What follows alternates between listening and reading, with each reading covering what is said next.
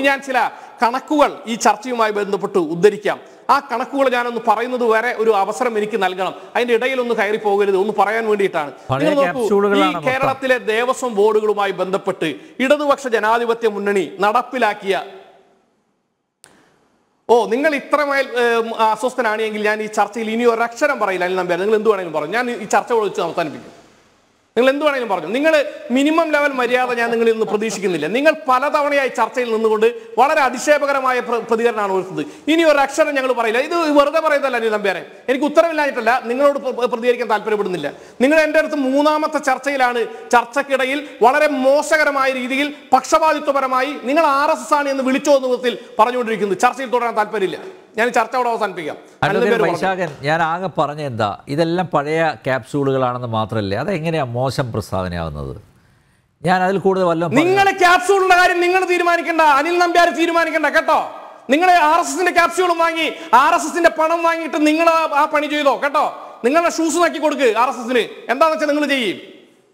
അതെ നിങ്ങൾ നിങ്ങൾ നയിക്കുന്ന ചർച്ചയിൽ നിങ്ങൾ നിങ്ങളുടെ ബന്ധുക്കളെ സ്വന്തക്കാരെ വിളിച്ചിരുത്തണം. എന്നിട്ട് വേണം നിങ്ങൾ പറയാം കേട്ടോ? നിങ്ങൾ പറയുന്നത് കേൾക്കാനല്ല കേട്ടോ ഞാൻ വന്നിരിക്കുന്നത്. നിങ്ങൾ ചർച്ച കുറെ നാളായി നയിക്കാൻ തുടങ്ങിയിട്ട്. നിങ്ങൾ നയിക്കുന്ന ചർച്ചയിൽ ഇത്തരത്തിൽ പക്ഷപാതപരമായി ആർ എസ് എസിന് വേണ്ടി വർത്തമാനം പറഞ്ഞുകൊണ്ടിരിക്കുക. നിങ്ങൾ അങ്ങനെയാണെങ്കിൽ ഞങ്ങൾ ക്ഷണിക്കേണ്ട ആവശ്യമില്ല. നിങ്ങൾ പ്രസംഗിച്ചാൽ പോരെ. നിങ്ങൾ പ്രസംഗിച്ചോ? നിങ്ങളുടെ ഫ്ലോർ അല്ലേ? ഞങ്ങൾ ആരെങ്കിലും പറയാറുണ്ടോ? വൈശാഖൻ നിങ്ങളുടെ ചർച്ച നടത്തുമ്പോൾ മിനിമം ലെവൽ മര്യാദ കാണിക്കണം. നിങ്ങൾക്ക് പക്ഷപാതം ഉണ്ടാവുന്നേ നിങ്ങൾ ഇടപെടില്ല എന്ന് ഉറപ്പുണ്ടാകണം. തീർച്ചയായും. ആ കണക്കുകൾ അവതരിപ്പിക്കും ഇല്ലെങ്കിൽ വേണ്ടാന്നേ നമുക്ക് ചർച്ച നയിക്കേണ്ടതേ നമുക്ക് ചർച്ച നിർത്താന്നേ. എനിക്കിത് നിർബന്ധമുള്ള കാര്യമൊന്നുമല്ല. ജനൻ ടി വിയിൽ വന്ന് ഇന്ന് എന്നും വന്നിരിക്കാന്ന് ഞാൻ ആർക്കും വാക്കെഴുതി കൊടുത്തിട്ടിരുന്നില്ല.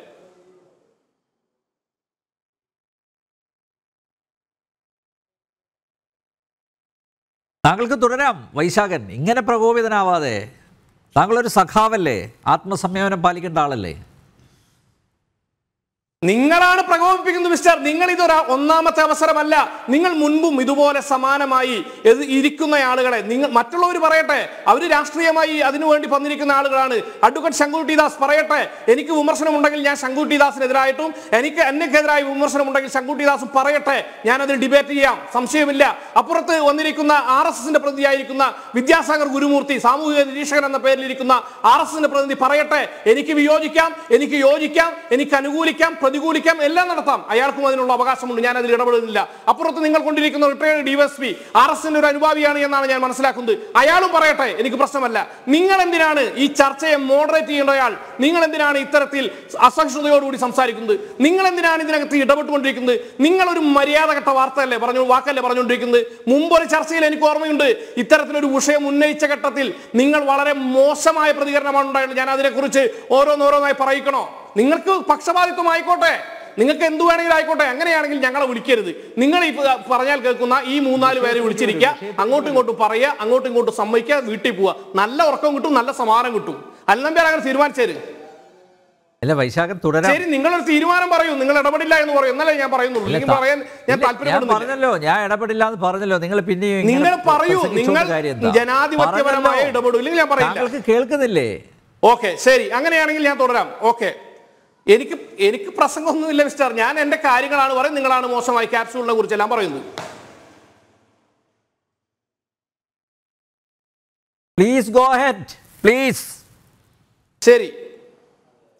നിങ്ങൾ ഒരു കാര്യം കൂടി ഓക്കെ ഓക്കെ ഓക്കെ ആരംഭിക്കാം. രണ്ടായിരത്തി പതിനാറ് മുതൽ രണ്ടായിരത്തി ഇരുപത്തിയൊന്ന് വരെ കേരളം ഭരിച്ച ഇടതുപക്ഷ ജനാധിപത്യ മുന്നണി സർക്കാർ. രണ്ടായിരത്തി ഇരുപത്തി ഒന്ന് മുതൽ വീണ്ടും തുടർ ഭരണത്തോടുകൂടി തൊണ്ണൂറ് സീറ്റിൽ നിന്ന് തൊണ്ണൂറ്റി ഒന്ന് സീറ്റിൽ നിന്ന് തൊണ്ണൂറ്റൊമ്പതിലേക്ക് എത്തിയ ഇടതുപക്ഷ ജനാധിപത്യ മുന്നണി സർക്കാർ. ഈ കാലയളവിൽ ഇടതുപക്ഷ ജനാധിപത്യ മുന്നണി ദേവസ്വം ബോർഡുകളുമായി ബന്ധപ്പെട്ട് ക്ഷേത്രങ്ങളുമായി നടത്തിയ ചില ഇടപെടലുകളെ സംബന്ധിച്ച് ഈ അവസരത്തിൽ പറഞ്ഞു പോകണമെന്നാണ് ഞാൻ ആഗ്രഹിക്കുന്നത്. പത്തൊമ്പതോളം വരുന്ന പട്ടികജാതി വിഭാഗത്തിൽ വരുന്ന ആളുകൾക്ക് അടക്കം നൂറ്റി മുപ്പത്തി മൂന്നോളം വരുന്ന അബ്രാഹ്മണരെ ദേവസ്വം ബോർഡുകളിലേക്ക് കേരളത്തിലെ വിവിധ ദേവസ്വം ബോർഡുകളിലേക്ക് തെരഞ്ഞെടുക്കുവാൻ തീരുമാനമെടുത്ത് അതിന്റെ അടിസ്ഥാനത്തിൽ ആളുകളെ തെരഞ്ഞെടുത്ത ഒരു സർക്കാരാണ് ഇടതുപക്ഷ ജനാധിപത്യ മുന്നണി സർക്കാർ. നിങ്ങൾ പറയുന്ന ഹിന്ദുവിരുദ്ധരായ ഇടതുപക്ഷ ജനാധിപത്യ മുന്നണി സർക്കാരാണ് ഈ കാലയളവിൽ അബ്രാഹ്മണരായ ആളുകൾക്ക് ദേവസ്വം ബോർഡുകളിലേക്ക് ക്ഷേത്രങ്ങളിലേക്ക് പ്രവേശനം അനുവദിച്ചത്. ഓർത്തുവച്ചോ പ്രവേശനം അനുവദിച്ചത്. ഇനി ഒരു കാര്യം കൂടി പറയാം. ഈ കൊറോണയുടെ കാലഘട്ടം ഉണ്ടായി കൊറോണയുടെ കാലഘട്ടം ഉണ്ടായി എല്ലാ ക്ഷേത്രങ്ങളും അടച്ചിടപ്പെട്ടു. നിത്യനിദാനങ്ങൾക്ക് വഴിയില്ലാതെയായി. ഉത്സവാഘോഷങ്ങൾ നടക്കാതെയായി.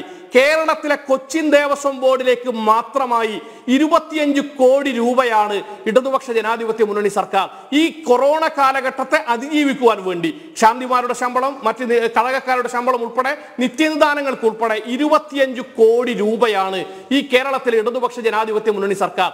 കൊച്ചിൻ ദേവസ്വം ബോർഡിന്റെ കാര്യം മാത്രമാണ് പറഞ്ഞത്.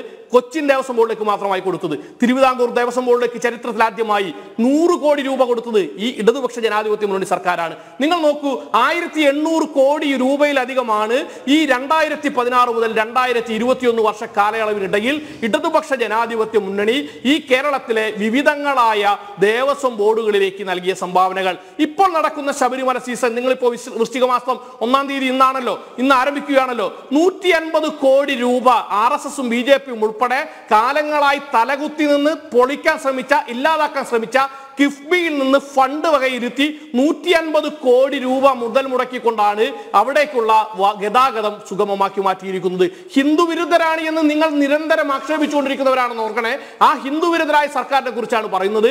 ആ ഹിന്ദു വിരുദ്ധരാണ് എന്ന് നിങ്ങൾ ആക്ഷേപിക്കുന്ന ആ സർക്കാരിനെ കുറിച്ചാണ് പറയുന്നത്.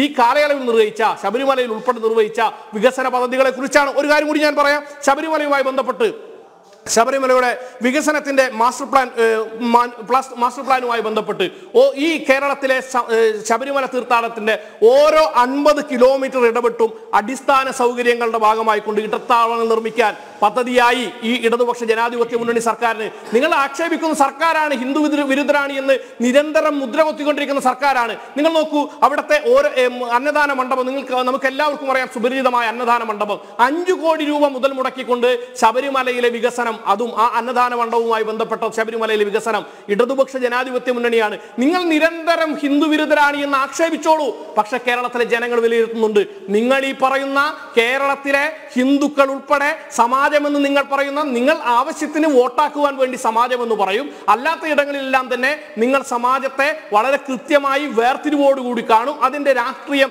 ഞാൻ വേണമെങ്കിൽ വിശദീകരിക്കാം. എനിക്ക് സമയം അനുഭവിക്കുകയാണെങ്കിൽ അത് വിശദീകരിക്കാൻ ഞാൻ തയ്യാറാണ്. എനിക്ക് പ്രശ്നമുള്ള കാര്യമല്ല. നിങ്ങൾ ഈ സമാജം എന്ന് പറയുന്ന വിഭാഗത്തിലെ ഈ നാട്ടിലെ പാവപ്പെട്ട ഹിന്ദു സഹോദരന്മാരുൾപ്പെടെ വോട്ട് നൽകിയാണ് ഭൂരിപക്ഷത്തോടുകൂടി ഇടതുപക്ഷ ജനാധിപത്യ മുന്നണി കേരളത്തിൽ രണ്ടാമതും അധികാരത്തിലെത്തിയത്. ഈ നാട്ടിലെ ജനങ്ങൾ വിഷയങ്ങളെ വിലയിരുത്തുന്നുണ്ട്. അതിന് എത്ര തന്നെ കുത്തിത്തിരിപ്പുണ്ടാക്കാൻ ഏതെല്ലാം ചാനൽ ശ്രമിച്ചാലും ചാനലിൽ വന്നിരിക്കുന്ന ഏറാൾ മൂലികൾ ശ്രമിച്ചാലും ഞങ്ങൾക്കതൊന്നും ബാധകമല്ല. ഞങ്ങൾക്ക് ഈ നാട്ടിലെ ജനങ്ങളോടാണ് ഉത്തരം പറയുന്നുണ്ട് അത് ഞങ്ങൾ കാലങ്ങളായി ചെയ്തു വരുന്നുണ്ട്. ഇനിയും അത് തുടരും. അതിന് നിങ്ങൾ എന്തെല്ലാം ഈ ഏറാൻ മൊഴി എന്നൊക്കെ പറയുന്നത് നല്ല ഭാഷയാണോ? അഡ്വക്കേറ്റ് വൈശാഖൻ? കേട്ടില്ല. അഡ്വക്കേറ്റ് വൈശാഖൻ. ദേവസ്വം ദേവസ്വം ബോർഡിൽ എടുത്ത പത്ത് കോടി രൂപ ഹൈക്കോടതി ഹൈക്കോടതിയാണ് പറഞ്ഞത്. ഞാൻ നിങ്ങളോട് പറഞ്ഞതല്ല നിങ്ങളെ പറഞ്ഞതല്ല. നിങ്ങൾ പറഞ്ഞതല്ല. ദേവസ്വം ബോർഡിൽ നിന്ന് മോഷ്ടിച്ചിട്ട് ദേവസ്വം ബോർഡിൽ നിന്ന് മോഷ്ടിച്ചിട്ട് ഞങ്ങൾ ഗുണം ചെയ്തു പറയുന്ന ഉറപ്പുണ്ടോ താങ്കൾക്ക്? നോക്കൂ കേരള ഇത് ഇത് കേരള സർക്കാരിനെ സംബന്ധിക്കുന്ന വിധിയല്ല ഉണ്ടായിട്ടുള്ളത്. നിങ്ങൾ നിങ്ങൾ അനാവശ്യമായ വർത്തമാനം പറയല്ലേ? ഞാൻ ചർച്ച ചെയ്യുമ്പോൾ നിങ്ങൾ ഇടപെടൽ നിങ്ങളുടെ അവസരത്തിൽ പറഞ്ഞോളൂ. ഗുരുമൂർത്തി നിങ്ങൾ നിങ്ങളുടെ അവസരത്തിൽ പറഞ്ഞോളൂ. കേട്ടോണ്ടിരിക്കാൻ പറ്റുമോ? Kerala high high court orders Pinarayi Vijayan government to return ten cross അങ്ങനെ അങ്ങനെയല്ല. നിങ്ങൾ നിങ്ങളുടെ അവസരത്തിൽ പറയൂ. ഞാൻ നിങ്ങൾ പറഞ്ഞ എല്ലാ എന്തെങ്കിലും പറഞ്ഞുകൊണ്ട് നമുക്ക് കേട്ടയാളല്ലേ അത് ചെയ്തു ഇത് ഇത് കള്ളക്കണക്ക് പറയരുത്. നിങ്ങൾ ഗുരുമൂർത്തി നിങ്ങൾ നിങ്ങൾ എന്തെങ്കിലും പറഞ്ഞപ്പോ കേട്ടിരുന്നയാളാണ് ഞാൻ. നിങ്ങൾ എന്തെല്ലാമോ വിളിച്ചു പറഞ്ഞു കേട്ടിരുന്നയാളാണ്. നിങ്ങൾ പറയുന്നത് കേട്ടിരിക്കാൻ ഞങ്ങൾ വരുന്നയാളല്ല ഞാൻ? ഞങ്ങൾ ഹിന്ദുക്കളുടെ ഞാൻ പറയുന്നത് നിങ്ങൾ കേട്ടിരിക്കാൻ ബാധ്യസ്ഥനാണ്. ഞാൻ കള്ളം പറഞ്ഞിട്ടില്ല. ഞാൻ ഒരിടത്തും കള്ളം ഞാൻ ഈ കണക്കുകൾ വെച്ച് ഡിബേറ്റ് ചെയ്യാൻ തയ്യാറാണ്. ഞാനും തയ്യാറാണ് ഞാനും തയ്യാറാണ്. ഞങ്ങൾ ഡിബേറ്റ് ചെയ്യാൻ തയ്യാറാണ്. നിങ്ങളുണ്ടോ? ഈ വിഷയവുമായി ബന്ധപ്പെട്ട് ഞാൻ ഡിബേറ്റ് ചെയ്യാൻ തയ്യാറാണ് ഈ കണക്ക് വെച്ച്. അല്ല ഗുരുമൂർത്തി ഗുരുമൂർത്തിയുടെ കണക്കല്ല. ഞങ്ങൾ ഈ കണക്ക് വെച്ച് ഡിബേറ്റ് ചെയ്യാൻ തയ്യാറാണ്. തയ്യാറാണ് തയ്യാറാണ്. ട്രാവൻകൂർ ദേവസ്വം ബോർഡിലെ റാം ശരി ഗുരുമൂർത്തി പറയട്ടെ ഞാൻ ഉണ്ടായിരിക്കാം. കുഴപ്പമില്ല. ഗുരുമൂർത്തി പറയൂ ഞാൻ നിശബ്ദനായിരിക്കാം. നിങ്ങൾ പറഞ്ഞോളൂ. നിങ്ങൾ പറയൂ, ഞാൻ നിശബ്ദനായിരിക്കാം. ഒരു ഒറ്റ കാര്യം പറയൂ. എന്തിനു വേണ്ടിയാണ് കേരള നിങ്ങൾ പറയൂ, ഞാൻ നിശബ്ദനായിരിക്കാം. നിങ്ങളുടെ ഗവൺമെന്റിനോട് എന്തിനു വേണ്ടിയാണ് ബഹുമാനപ്പെട്ട കേരള ഹൈക്കോടതി നിങ്ങളോട് പത്ത് കോടി തിരിച്ചവിടെ വെക്കണ കള്ളന്മാരെന്ന് പറയാൻ കാരണം എന്താണ്? നിങ്ങൾ പറഞ്ഞോളൂ ഞാൻ നിശബ്ദനായിരിക്കും. നിങ്ങൾ എത്ര വേണമെങ്കിലും പറഞ്ഞോളൂ. ഞാൻ പറഞ്ഞ ഇനി അനിൽ നമ്പ്യാർ ഇടപെട്ട് എനിക്ക് അവസരം തരട്ടെ അപ്പൊ. അതൊരു ചോദ്യമാണല്ലോ. അതിന് ഇതിന് ഞാൻ പറയാം. ഇയാൾ ഇടപെടാതിരിക്കട്ടെ. യെസ് ശ്രീ ഗുരുമൂർത്തി ഒരു നിമിഷം. അതേ മറുപടി പറയട്ടെ? മറുപടി പറയട്ടെ പ്ലീസ് നോക്കൂ നോക്കൂ എനിക്കിതിന് മറുപടി ഇല്ലാത്തതല്ല ഗുരുമൂർത്തിക്ക് മറുപടി പറയലല്ല എന്റെ പണി. ഞാൻ എനിക്ക് ചുമതലപ്പെടുത്തിയ പണിയാണ് ഞാൻ ചെയ്യുന്നത്. ചോദ്യം ചോദിക്കുമ്പോൾ അതിന് മറുപടി പറയാനുള്ള ഉത്തരവാദിത്വം ഇല്ലേ അഡ്വക്കേറ്റ് വൈശാഖൻ? അതിന്റെ അർത്ഥം എന്താ? നിങ്ങൾക്ക് ഉത്തരവില്ല. ഈ ഗുരുവായൂർ ദേവസ്വം ഒരു ഹൈക്കോടതിയെ പറഞ്ഞത് പത്ത് കോടി തിരിച്ചു ചർച്ച നയിക്കുന്നത്? കെട്ടഴിച്ചിട്ടിരിക്കുകയാണോ? തോന്നും പോലെ അല്ല കേക്കൂ നോക്കൂ നോക്കൂ. നിങ്ങൾ സൗകര്യ അല്ല നോക്കൂ. നിങ്ങൾ ഒന്ന് ഗുരുമൂർത്തി ഉണ്ട് അപ്പുറത്ത് ആർ കെ കൃഷ്ണ കൃഷ്ണകുമാർ ഉണ്ട് അല്ല ഞാൻ പറഞ്ഞോട്ടെ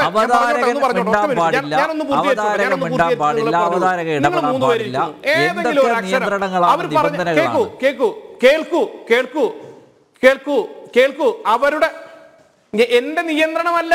നിങ്ങൾ ഇത് ജനാധിപത്യപരമായി ഒന്ന് ചർച്ച ചെയ്യാൻ ശ്രമിച്ചാൽ മതി വിഷയം തീർന്നു. എനിക്ക് നിങ്ങളോട് ഒരു. പ്രശ്നവുമില്ല. പേഴ്സണലി എനിക്ക് നിങ്ങളോട് ഒരു പ്രശ്നമുള്ള ആളുകളല്ല. നിങ്ങൾ ഈ പറയുന്ന കാര്യങ്ങളിൽ നോക്കൂ. ആ ഞാൻ മറുപടി പറയാം. നിങ്ങൾ ഇവിടെ മൂന്ന് പേരെ കൊണ്ടിരുത്തിയിരിക്കുന്നു. മൂന്ന് പേരും ചർച്ച ചെയ്തു. ഒരു അക്ഷരം ഞാൻ ഇടപെട്ടോ. എനിക്ക് വിയോജിപ്പുള്ള എത്ര കാര്യങ്ങൾ പറഞ്ഞു? എത്ര പച്ച കള്ളങ്ങൾ ഇവിടെ ഉന്നയിക്കപ്പെട്ടു? ഞാൻ ഒരു അക്ഷരം പറഞ്ഞു? ഞാൻ എന്റെ അവസരത്തിൽ എനിക്ക് പറയാനുള്ള കാര്യങ്ങൾ അതിനിടയിൽ ഒരാൾ ഞാൻ ഇതങ്ങ് പറഞ്ഞു കളയാം. അത് ശരിയായ രീതിയല്ല സമീപനമല്ല. ഒന്ന് പറഞ്ഞു. പഠിപ്പിക്കൂ. എത്ര വിഷയം. പെട്ടെന്ന് പറയാം താങ്കൾക്ക്. അവസാനിപ്പിക്കാം. ശരി ഞാൻ ഞാൻ അതിനെ പറഞ്ഞു പൂർത്തീകരിക്കാം. എന്തായാലും ചോദിച്ച് ഞാൻ ഈ ചോദിച്ചതുകൊണ്ട് പറഞ്ഞു പൂർത്തീകരിക്കാം. Guruvayur ദേവസ്വത്തിന്റെ management C M D C M D R എഫിലേക്ക് കേരളത്തിന്റെ ബഹുമാനപ്പെട്ട കേരളത്തിന്റെ മുഖ്യമന്ത്രിയുടെ പിന്നെ ദുരിതാശ്വാസ നിധിയിലേക്ക് പത്ത് കോടി രൂപ കൊടുക്കുന്നത് ഇതിൽ എവിടെയാണ് പിശകരിക്കുന്നത് ഈ ഹൈക്കോടതിയുടെ വിധി ഉണ്ടെങ്കിൽ ആ വിധി നടപ്പിലാക്കുന്നത് സംബന്ധിച്ച് അതുമായി ബന്ധപ്പെട്ട ആളുകൾ പറഞ്ഞുകൊള്ളും നിങ്ങളത് ഈ പിന്നെ ചോദിക്കേണ്ട ചോദിച്ചുകൊണ്ട് പറയാതിരിക്കുന്നല്ല. നിങ്ങളിപ്പോ ഒരു പത്ത് കോടിയുടെ കാര്യമാണ് പറഞ്ഞത്. ഞാൻ പറഞ്ഞത് ആയിരക്കണക്കിന് കോടി രൂപയുടെ കണക്ക്. അതിനെ കുറിച്ചൊന്നും പറയാനില്ല. ഒരു പത്ത് കോടി രൂപ. നിങ്ങൾ ഈ സർക്കാരാണ് മിസ്റ്റർ ഇരുപത് നൂറ് കോടിയോളം രൂപ ഈ കാലയളവിൽ ചെലവഴിച്ചത്. ഈ സർക്കാരാണ് മിസ്റ്റർ ഞാൻ. ഓഡിറ്റ് നടന്നതെന്നാണ്. ഓ ഇതിൽ കൃത്യമായി ഓഡിറ്റ് നടത്തി നിങ്ങൾ എന്ത് കണക്ക് പ്രകാരമാണ് ഇത്രയും തുക ചെലവഴിച്ചു എന്ന് പറയുന്നത്? എന്ത് കണക്ക്? എപ്പോഴാണ് കൊച്ചിൻ ദേവസ്വം ബോർഡിന്റെ അവസാനത്തെ ഓഡിറ്റ് നടന്നിട്ടുള്ളത്? വൈശാഖൻ കേട്ടോ? എല്ലാ വർഷവും കൃത്യമായി ഓഡിറ്റ് നടക്കും. നിങ്ങൾ അങ്ങനെ ചോദ്യം- ഉത്തരം പറയാനായിട്ട് അയാൾ എന്റെ മാസം ഞാൻ. അയാളുടെ കുട്ടിയൊന്നുമല്ല. എനിക്ക് പറയാൻ സൗകര്യമില്ല. നിങ്ങൾ എന്താ ചെയ്യും? അല്ല എനിക്ക് സൗകര്യമില്ലാന്നേ എനിക്ക് സൗകര്യമില്ലാന്നേ നിങ്ങൾ ചർച്ച ചെയ്യുന്നത് എന്താ ചെയ്യും? സാധാരണ ഇത്തരം സംവാദങ്ങളിൽ പാനലിസ്റ്റുകൾ ആർക്കാണ് പാനലിസ്റ്റുകൾ. ചോദിക്കാറുണ്ട്. എല്ലാവർക്കും അറിയാം. ആ സംശയങ്ങൾക്ക് ഉത്തരമുണ്ടെങ്കിൽ അത് അത് ആ ഉത്തരം നിങ്ങൾ അവരുടെ അവസരത്തിൽ ചോദിക്കാൻ പറയൂ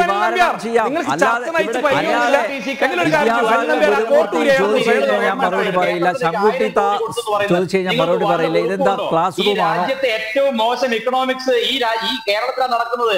കിബി നിങ്ങൾ പറഞ്ഞല്ലോ. ആര് പറഞ്ഞു മറുപടി ഇല്ലെന്ന്? നിങ്ങൾ അവസരം. കൊടുക്കുക എന്നിട്ട് പറ.